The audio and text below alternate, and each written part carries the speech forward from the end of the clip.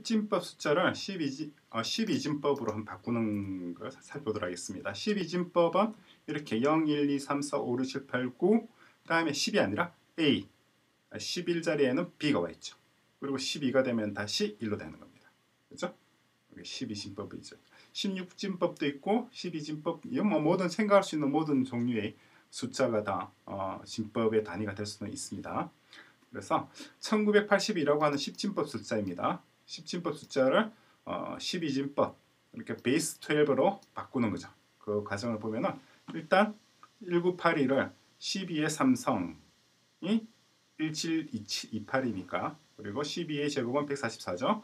12의 일성은 12 그리고 1 1자리수 12자리수 12의 제곱자리수 12의 세제곱자리수 여기다 들어갈 어, 적절한 것을 딱 넣는 거잖아요. 방법은 단순하죠. 이렇게 나눠주면 됩니다. 먼저 1728로 나눴을 때 1이 나왔죠. 따라서 여기 들어갈 자리는 1입니다. 그죠? 그럼 254가 여기서 넘어와서 144로 나눠졌을 때 1이 나오죠. 들어갈 자리는 여기. 그죠? 그리고 여기는 9, 여기는 2 이렇게 해서 10진법 숫자를 12진법으로 바꿀 수가 있습니다.